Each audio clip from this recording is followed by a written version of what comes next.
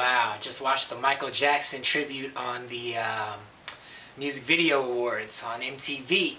You know, what really touched me is to see the impact that Mike has made on MTV. You know, a lot of people don't know, but he was the first black man to ever have a music video on MTV.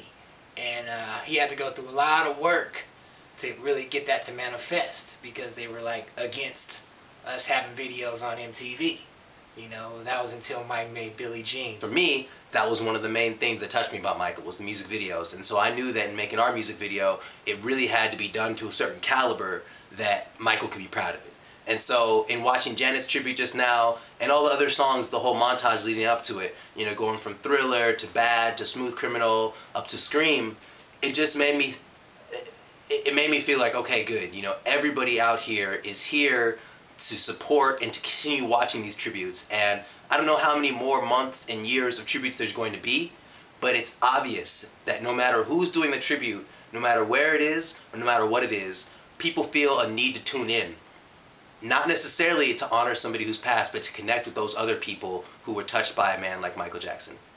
And uh, I was just really impressed to see the impact that he's made on just MTV in general it's great to see MTV honoring him like they are now. And, uh, you know, Michael is amazing. You know, he, uh, he, he brought it in for us. He got it cracking for us. So now that's an outlet for us. It's just another reminder to me that everybody that's doing these tributes these days, they're, they're connecting to something that's, that's much bigger than, than just honoring somebody who's passed. They're actually connecting to their own influences, their own experiences, and saying, you know, Michael touched me in this way. This is the memory that I have with Michael, and now I need to actually share that with other people so other people can get a sense of how much impact this man had. And so, you know, it is really important that they did this on MTV because MTV was one of the first places that Michael really had that presence with music videos. Wow. Okay, so seeing Janet up there doing Scream as if her brother was almost there, that just, I think that's a moment that I'm to remember for a while now because honestly, since since Michael's passed, I haven't really seen Janet in the public eye. I haven't seen her make any statements. And even though she didn't even speak a word just now and that whole dance routine, we all knew what her statement was. So it's just great to see him um, living on through the spirit of his sister up there rocking it so hard, so serious. I felt she picked the perfect song.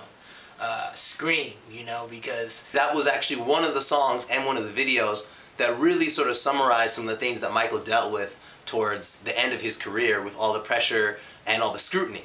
And so you can see when Janet's doing this tribute that not only is she happy to be out there celebrating her brother and keeping his legacy going, but you can see also that that song still means a whole lot to her. And it's also cool, you know, because we use Scream a lot in our uh, in our tribute. So uh, if you haven't seen that, check out um, www.michaeljacksonshining.com. Uh, the name of the video is called Shining. Um, it's a Michael Jackson hip hop tribute, but it's awesome to see uh, Janet up there rocking it so hard and doing her thing. And so, in watching this tribute, I just felt like it was another example of how people all over the world are connecting with their past experiences with Michael. And you could see Janet up there almost shadowing or mimicking her brother because she was trying to say this is just one of the th millions and thousands experiences that she must have had with Michael, but that was probably one that touched her the most, and that's why she had to put that out there in her tribute. And as you see, I mean, everybody is seeing these tributes all over the web, whether people are doing slideshows, whether they're doing montages, whether they're making music videos where they dress up like Michael Jackson whatever it is, make sure that you can share your experience with the rest of the world on how this person touched you because honestly, he touched all of us. And when we can share those experiences, it helps us all get more connected. And that's what's happening right now with all these tributes. Janet and everybody else in the world is trying to do everything they can to keep Michael shining.